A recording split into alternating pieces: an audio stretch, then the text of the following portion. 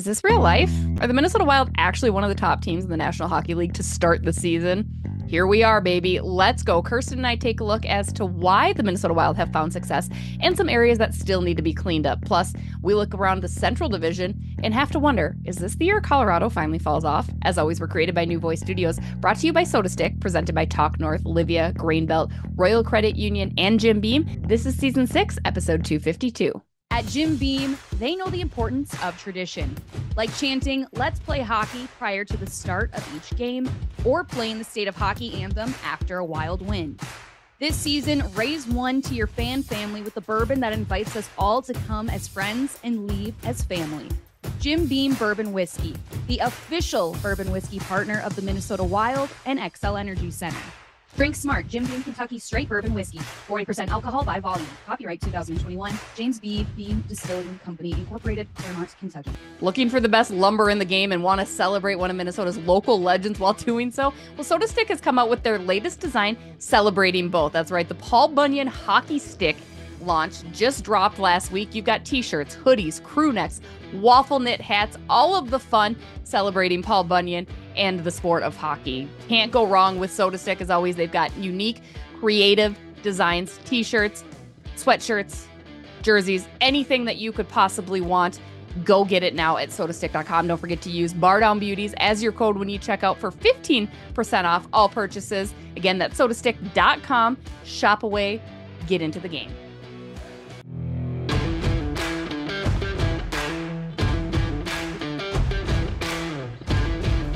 Hello, everybody. What's up? We're back. Bardown Beauties, episode 252. I'm your host, Jessi Pierce. She's your other host, Kirsten Krull.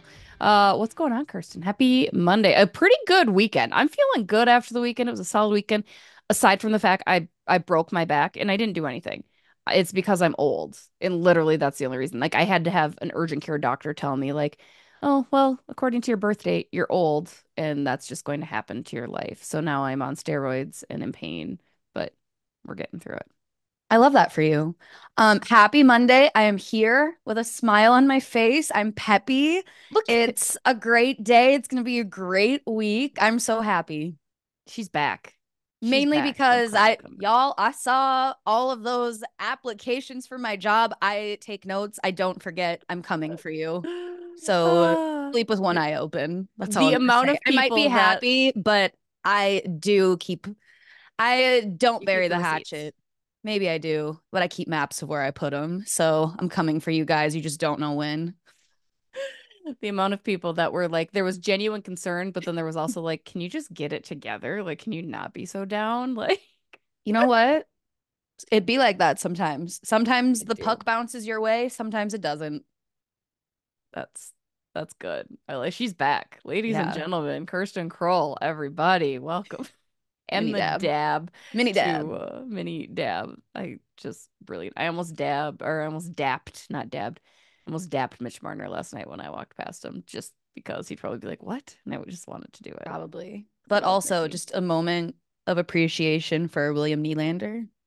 Just because no particular he reason. mumbles so badly. Like that's the true reason. Like, I'll be honest, I'm always trying to slip in that guerrilla marketing with the Bardown Beauties um pop socket acknowledgement in videos mm-hmm. with NHL players. You'll see it more often in the wild videos. And I was trying to do it with the Toronto Maple Leafs, and I had to literally get so close to Willie's mouth. That sounds terrible out of context. Um, I I had to get so close because he mumbles so bad. So that's why I was able to get the bar down buttes in on that Toronto feed there. Uh, because Willie is a soft spoken gentleman. And we love that for him. What a man. After watching the NHL documentary, episode of Nylander and pasta, I'm in love with Nylander. Fair. That's fair. Uh, How could you not be? He's a dog dad. Like, come on. Do you love him more than Mitch though? Mitchy's like absolutely. Yeah, dog. I do love Whoa. Nylander more than Marner. That's not even a hot take. absolutely. Marner, I respect him as the dog father he is. That's about it. Okay. That's fair. Uh, we're talking about the Toronto Maple Leafs because the Minnesota Wild defeated the Maple Leafs in overtime yesterday. Um, obviously we're not going to dive into the games, but a ton to get into with the Minnesota Wild. There's no reason to be sad this week because your Minnesota Wild are right now third best in the NHL with an 8-1 and 2 record, 18 points. They sit second in the Central behind the Winnipeg Jets who are Jets, excuse me, who are also leading the NHL with an 11 and 1 and 0 record. The Florida Panthers, defending cup champs, are 9-3 and 1. Um we're about 15% into the season, right? Again, still a long way to go. A lot can change. And I know there's so much excitement surrounding the start, considering how bad it was last year. But right now, Kirsten, your Minnesota Wild are on pace for 134 points. Last year, they finished with Amazing. 87 points. Let's compare that a little bit. But that has to beg the question like, are you, how much are you buying into where this Minnesota Wild team is at and how successful they truly can be because it seems like not even there's excitement not even just here in St. Paul and in the state of hockey, but across the league. Like I think they've really taken the league by storm this year and everyone's paying attention, not just because of Kirill, but just in general as a team. So I have to ask, is it real? Like, or are we just holding our breath and waiting for the other shoe to drop? Because again, 15%, a lot of season left wild, not so mild to start the 24 25 season. Am I right? But no, we will be for real if we can score on the power play. And mm-hmm. that's all I'm going to say about that. We'll get into the concerns, but I know I I have this belief like there is it does feel like there's something special. I look at it as some of these games, I mean, first of all, you have the road trip that you were incredibly successful on. You have the road trip that you were successful on despite missing your captain, Jared Spurgeon, who really showed out in the game against Toronto, helping get that puck up to Boldy after he hustled back. So, I mean, I think what a what goal. A what a, what a sound mind. And it's funny because I spoke with him after uh, the game and I said, you know, what were you seeing? He's like, I just wanted to get back to where I was comfortable, aka back into the defensive mm-hmm. zone, right? Like, so I mean, he wasn't really necessarily monitoring that, but he did know he's like, I knew they were going to kind of try to chip it in, and he was able to hustle back. So I mean, you love to see that out of a guy who is almost 35 years old and obviously has been enduring mm-hmm. some uh repercussions from his injuries last Absolutely. year. When I, think- I am on my deathbed, I want the Spurgeon feed to Boldy to the back of the net to be played on loop. No, I need the Kirill Kaprizov to Joel Eriksson Ek from Friday night mm. be played on loop because my even even Ecker, who I've told you before, is he's kind of quiet. I mean, he just kind of doesn't usually give you much. But I had when I asked him, I said, "Man, that was a hell of a pass from Kirill and a beauty goal by you." Even he was kind of like, "Yeah, well, like the play itself was just like, mm, so good, so good." Let me just for a moment. Oh, I thought you like actually drooled. And I was like, get it together, no. woman. just falling apart. No, and uh, it's not what... me today for the record. I am very together. much together today. Besides like a broken back, I'm very together. I so. don't believe that. It's true. I never You're drooling, you got a herniated disc, like the bulging herniated disc. What a terrible sounding thing too. And like literally there's nothing I I bent over to pick up a frozen pizza that for whatever reason my three year old decided to throw out of the freezer onto the floor. And I was like, oh, I'm just gonna pick this up like a human. How can and she reach the freezer? It's one of those. It's a pull out on the bottom. Oh, mm. I was like up top. How did she get up? Oh, there? she's a monkey she... as well. I mean, she could have. It wouldn't have been completely out of the realm. Like the amount of times you'll find a child standing on my counters digging into a cupboard is is not far and few between.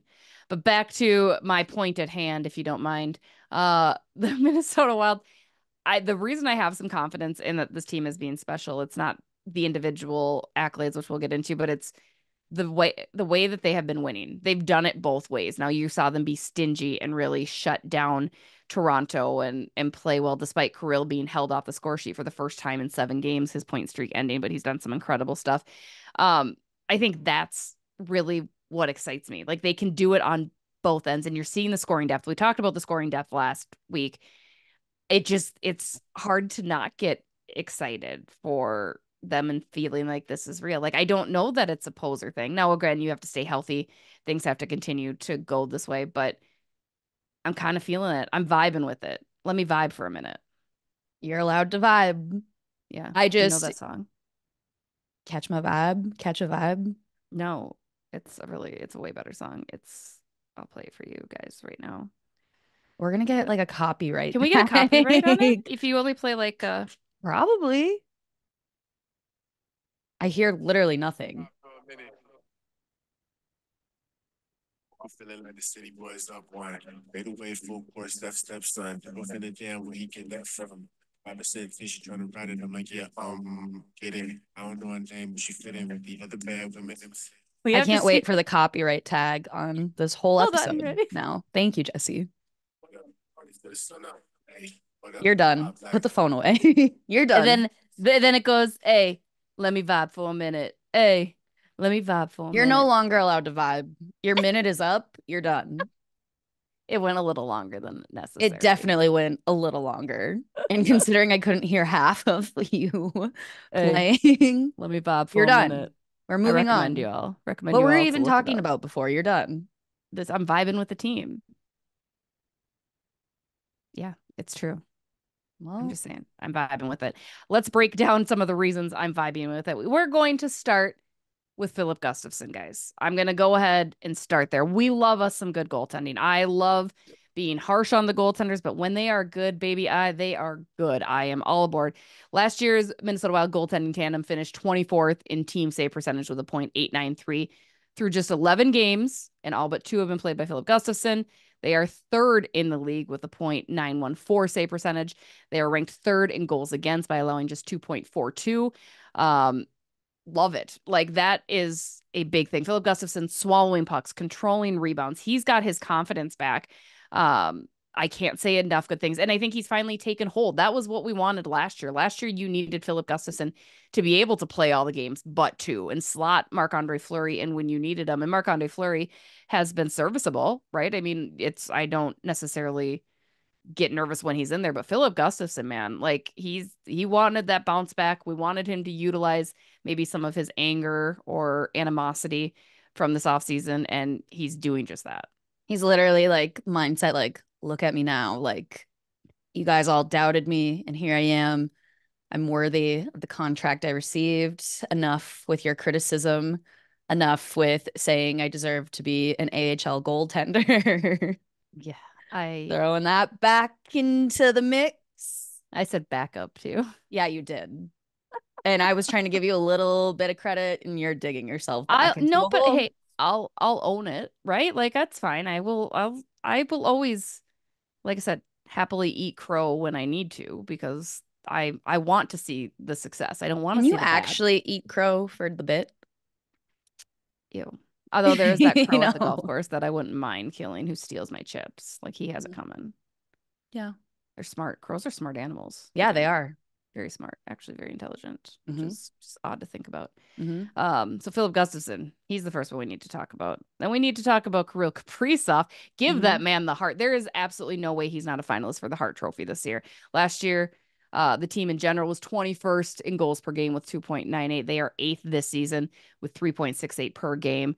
Um, 41 goals scored so far throughout the 11 game sample. And a large part of that is thanks to our friend Kirill Kaprizov, who has 21 points in 11 games played. Um, just a tremendous, tremendous start for Kirill. There's not enough that you can say about the way that he is playing, even when he's held off the score sheet like he was in Toronto, as we mentioned, that streak coming to an end. He's still contributing. He's still being Kirill and getting out there. Even when we spoke with him after the Toronto, or excuse me, after the Tampa Bay game on Friday, he was quick to say, Well, yeah, but I didn't like our first period, right? Like he's always going to try and be better and better. Um, currently leading the NHL in points. First one to get to 20 points in in the season. Kirill Kaprizov, man, like good God. Man is on a bender this year, or it maybe bender's not the right word. He's on a tear. No, a tear. That's that's what it is. It's definitely a tear. A I don't ever see Kirill being a man that goes on a bender, but maybe. Now I'm I asked him about if he that. celebrated Now, Halloween, and he's not. He said it's a different religion in Russia, and I wanted to be like, it's not a religious thing. some Just maybe he people- hates Satan, right? Like that's maybe what he was trying to say. Honestly, that probably is what he was trying to say. Um, Then he said, I just don't really like candy that much either, and I was like, I also don't like candy, but like I love Halloween. Like I used to go trick or treating and just go to every house and get candy I wouldn't even eat. And my mom brought that up the other day. She's like, "You don't even eat candy, and yet like you love Yeah. trick or treating." And I'm like, I can't explain it. I think it was just like for you, it's the was- costumes. the costumes, but also I don't know. Trick or treating was kind of like a competition. Like, how much candy can I get that I'm not gonna eat? I don't know. Fair. Love Yeah, Halloween. I go back and forth on candy, but I like some like lately. My big kick is I've talked about extensively, probably too much, has been like the chewy candy or the fruity candy or like the nerd gummy clusters. Those are really Mm. good. Or like Swedish fish or I can't do gummies because I literally the texture will make me throw up on the Oh, spot. see, I just and I never could. It wasn't a thing. It's something that's happened within the past like two years. It's very bizarre for me. And a good chocolate, like I don't love chocolate bars. I don't love Snickers. I don't love any of that. Um, and I'm sorry, unpopular opinion. I hate Reese's peanut butter cups. I just don't Mm. like them. I don't like the texture. I know that's like everyone's favorite. I don't like them. But um, Filip Gustavsson gave me one of his Swedish candies. It's called like Doom Dumel. I don't know. Ecker was trying to help me say it. But it basically is like a Rolo, but with much better chocolate because American chocolate sucks. Like it was so much better just strictly because of the milk chocolate. I'm like, I could get behind chocolate Yeah. if it was good chocolate like I do not like candy. I do not like chocolate, but we love Halloween. Anyways, back to Kirill Kaprizov. Back to Kirill, who is not scaring us, but giving us all the candy. Oh, you see what I did there? Bring it on back. yeah, we'll All let treats you and have tricks, that. but some cool tricks too. We'll let you run with that. Please say your say your point. Do you want to say your thoughts on Kirill? Kirill's the man. Like like I was saying, he's on a tear to start the year.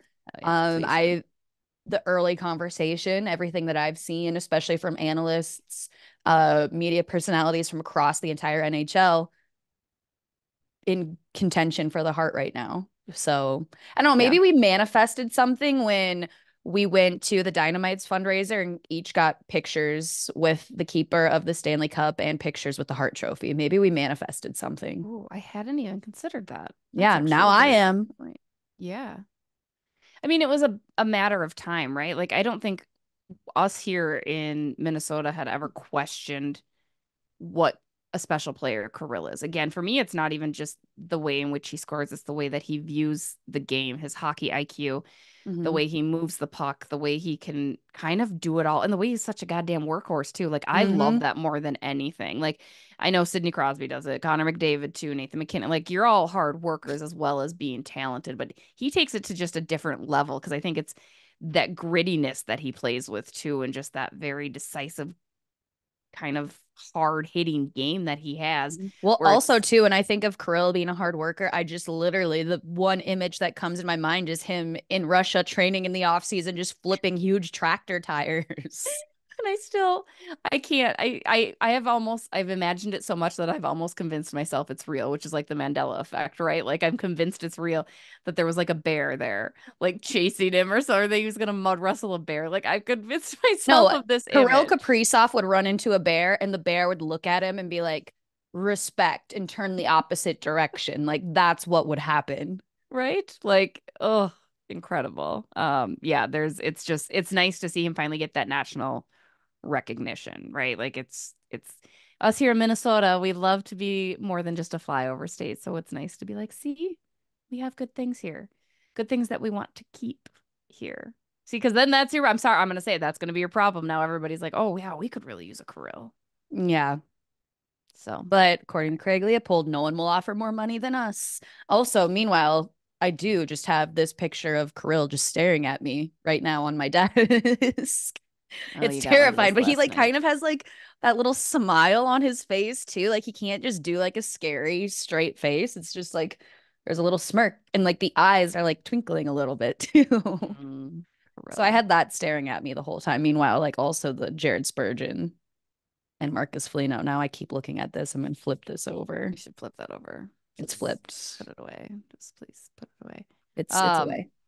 On the same note, Marco Rossi, another player that I can eat crow about, although again, I wanted to trade him because he's valuable, and I still look at it as like that still is a conversation that probably could be had.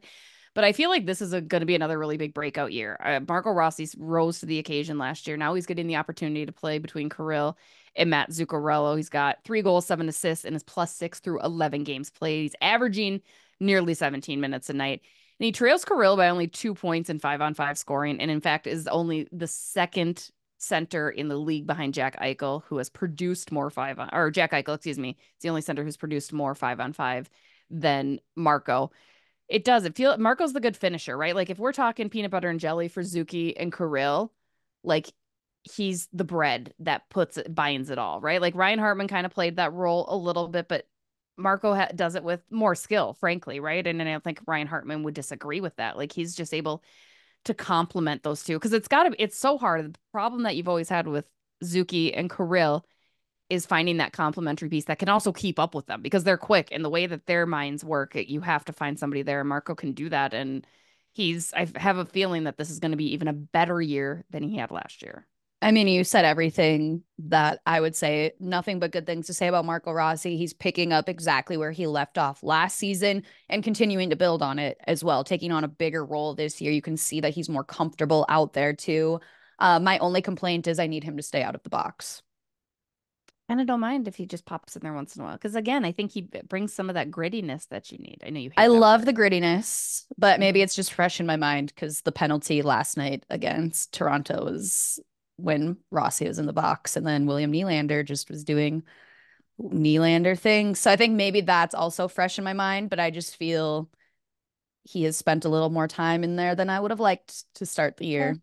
Fair. Fair. And our special teams, while they're not struggling as much as last year, I'm still not no thoroughly impressed. We can't. That's I have that point for. I'm sorry. I'm bringing it up Please. now. We'll trickle no. into it later, but I'm break. just saying after the break. Don't I don't ruin this for me. I have. I'm sorry. I'm not going into detail. I just mentioned it. A little foreshadowing for what's to come.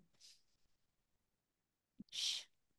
Uh, let's sassy this morning. Gosh. Wow. I was on one. We had our Vikings. I always do my Vikings record for Score North. Go listen to Before I Die on Purple Daily. Um, and I was real sassy on that one this morning too. I had a lot. I had a lot of things to say. Don't but harsh my I should, vibe. I should point out that the Vikings started winning when I started watching. So, hmm. interesting. Probably not. Definitely. I'm gonna say it's a coincidence. It's probably not a coincidence. Gonna bring you back down to reality. it's my job. Uh, That's why the, no one else can take my uh-huh. spot. Mm-hmm. The reality also is again another player that I need to prop up that I don't know we've done. Jon Merrill. Jon mm. Merrill's been playing very well. Declan Chisholm's been playing very well. I kind of like that they're getting. You know, I asked John Hynes about that the other day. Is it's a rotation? It's a good problem to have. The Minnesota Wild currently have a very good problem in the fact that all their players are performing up to par. That you can't get everybody in. It's a numbers game, right? You send Liam Ohgren down to the American Hockey League, which I think was the right move. Um, you have Ryan Hartman that comes back. All of a sudden, you got one guy out. You'd rather have Liam Ohgren playing than sitting out, and then you've got a seventh defenseman. But Jon Merrill, I think, has been playing very well. I think Declan Chisholm's playing well, and there's that rotation between the two of them. And then suffice to say, Brock Faber, who is still fifth in the league in ice time with 25 minutes and 28 seconds total each game. It's insane. That is insane. Um, and then Jared Spurgeon back and healthy. Middleton doing his thing. Congrats to him and his wife for baby girl Stevie being born. My favorite um, thing, just we're gonna segue for a second. When he was being interviewed, I believe it was yesterday, and Wild Social put it out to congratulate him and his wife. And he's like, "Yep, Stevie." And then he tries to spell it, and he goes, "Yeah, yeah I think I that's right." To, and I'm like, "Oh my gosh!" It. We were all like, "You're gonna have to learn that." I guess. And then the follow up was uh somebody said Brent Burns spelled his daughter's name wrong at one point in time, like didn't know how to spell his kid's name for a minute. And Middleton knows Burns obviously from their time with the Sharks, and he's like, yeah, that doesn't surprise, and that shouldn't surprise anybody that Brent Burns would forget how to spell a name.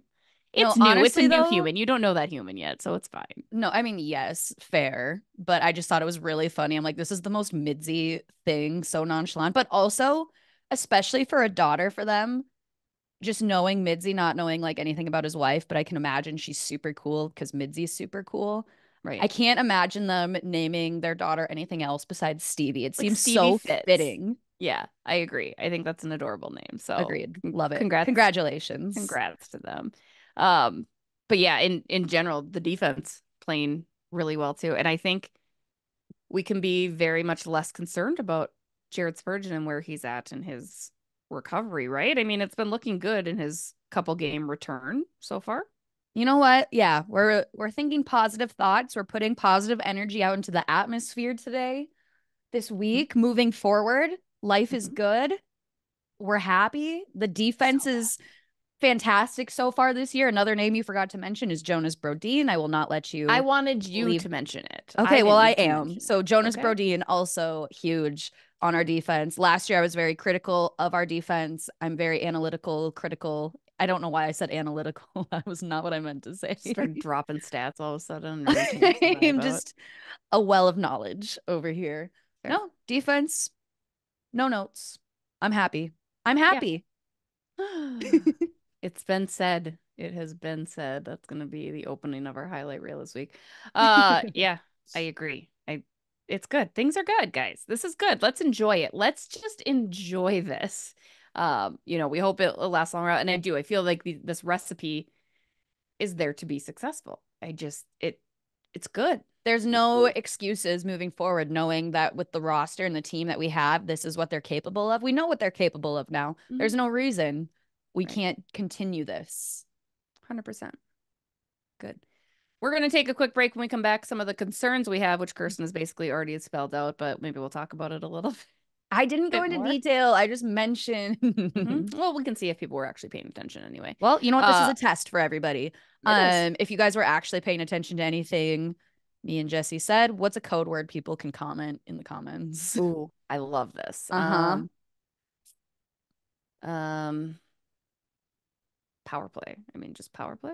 Yeah, just comment power play if yeah. you are PP will allow PP.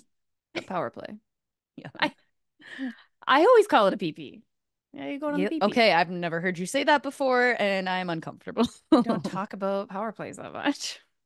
yes, we do. We're gonna talk more about it in the second half. Comment power play if you were actually paying attention. Stay tuned. We'll be right back. That. Hey guys, Jessi Pierce here for Livea Weight Control Centers. Are you ready to lose weight for good? Join Livea's nutrition plan today and receive your first eight weeks absolutely free. Since 2009, Livea has been the weight loss leader. And whether you're looking for a holistic approach through a customized nutrition program or seeking out a medical option, Livea's got you covered.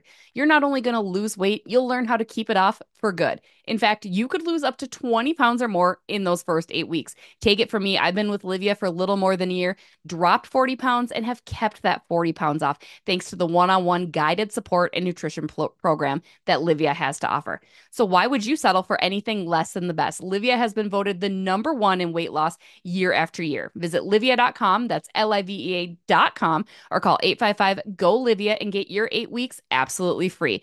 Plus, when you join, Livea Medical Semaglutide is just $199 in your first month. It's a limited time only. Visit livea.com or call 855 GO Livea.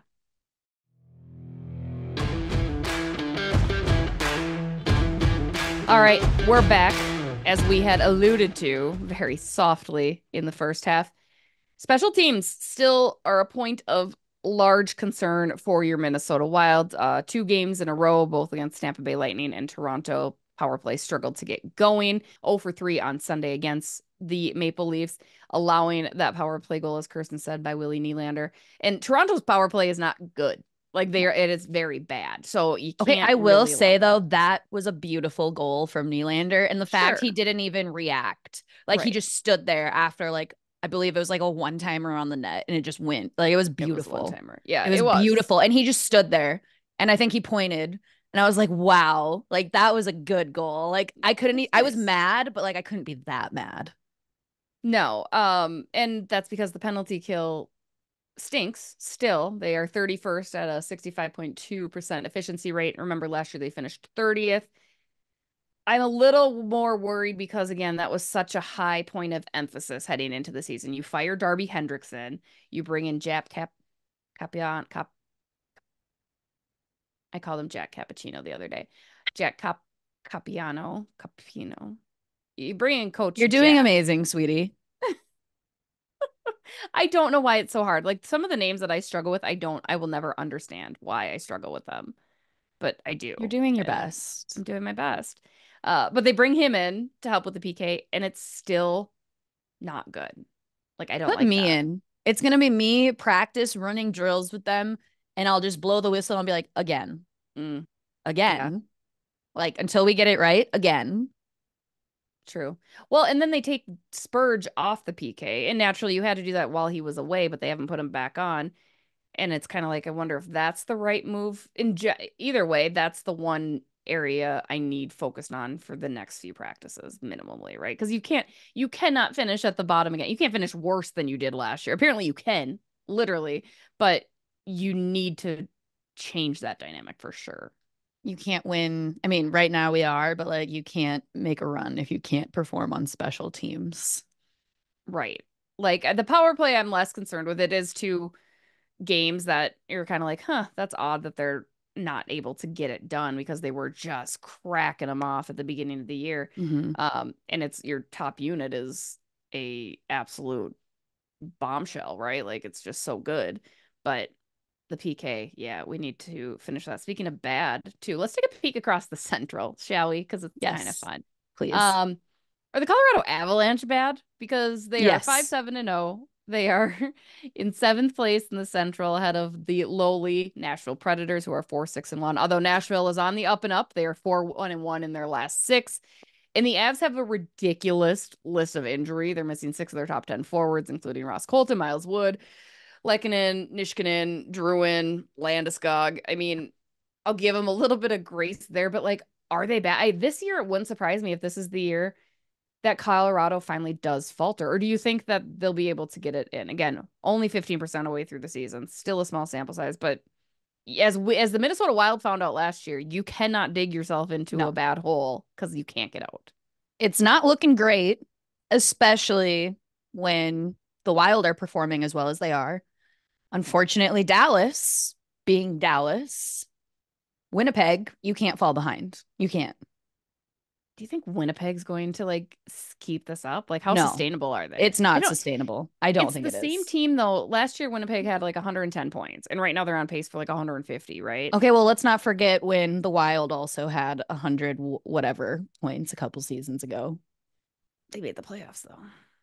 Yeah, so but I'm just, but I, but I wonder, like Winnipeg's returning a lot of the same roster as last year, so it's not crazy, I guess, to think that they could duplicate what they did last season. But yeah, I'm wondering. I'm a hater and I'm not convinced.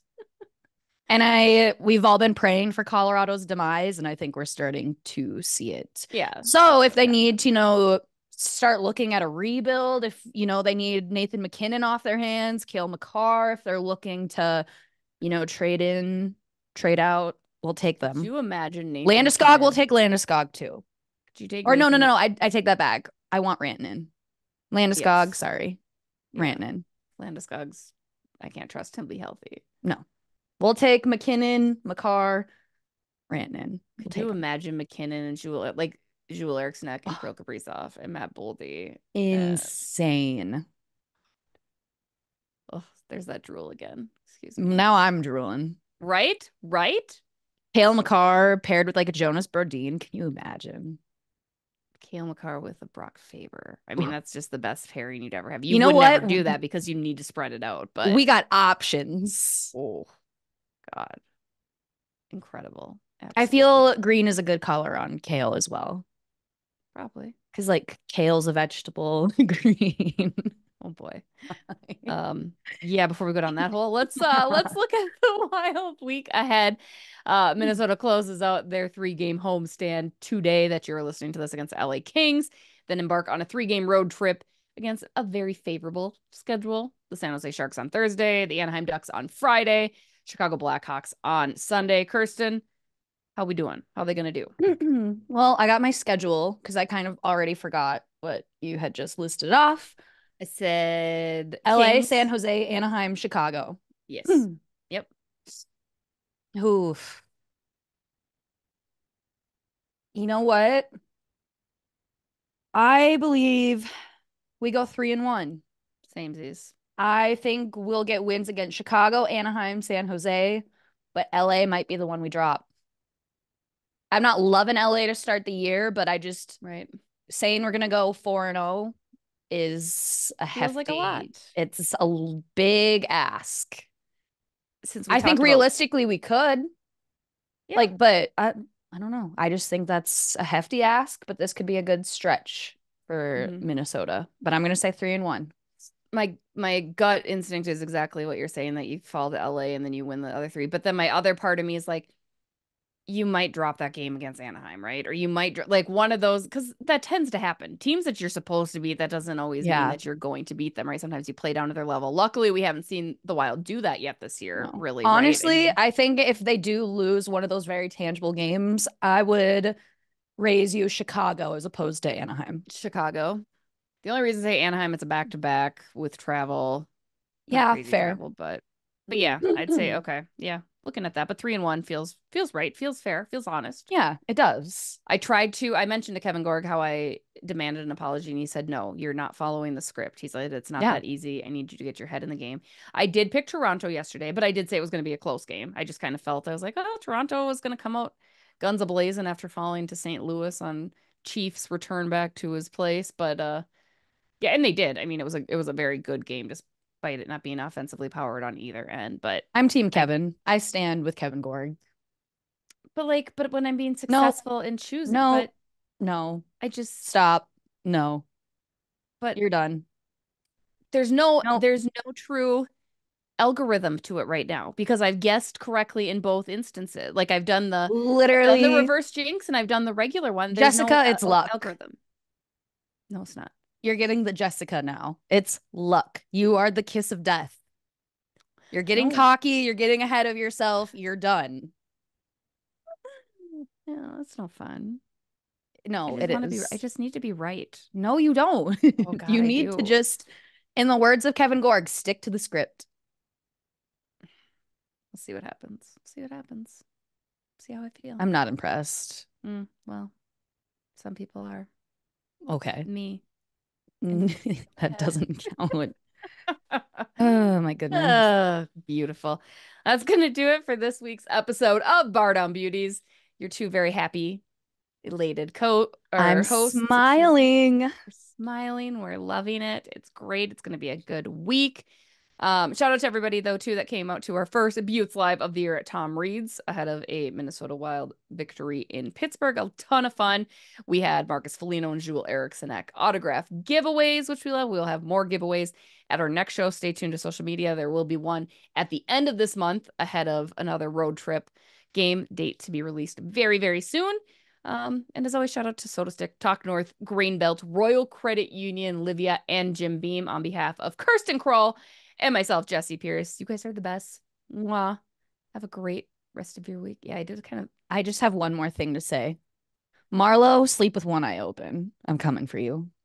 Yeah, no, I'll definitely keep Marlo's number on file um, for when I need a replacement. No, Don't worry, Marlo. You're in. no. Got you. We got you. Uh, You're done. you're done. Maybe Clip. you sleep with one eye open as well. Flip. I already do because the back hurts so bad I can't sleep. It's a terrible thing. Well, you know what? Maybe sleep with two eyes open then. 'Cause you never know Um, when I'm gonna strike, and apparently it's coming soon. and it feels like it's coming I soon. welcome it. We'll destroy you. Get them while they're down bad, aka Uh-huh. you and your back, because you can't. yeah, really you're using stand the injury so- to your advantage. This is like what people are doing to Ryan Hartman. He's got a mangled hand and they're just hacking the hell out of him. You know what? No one ever said you play fair. Life's not fair. And they just keep handing you more life. Mhm. They're like, oh, you've had enough life. Nope, here's some more. Nope. Shout out to Theo Von for that one if you haven't heard it. It's hilarious. you. Oh, I'm Like, falling here's apart. more life. You think you've had enough life? You'll never have enough life. Nope. Nope. Shout out Theo. All right. Goodbye. Have a good week. See you later.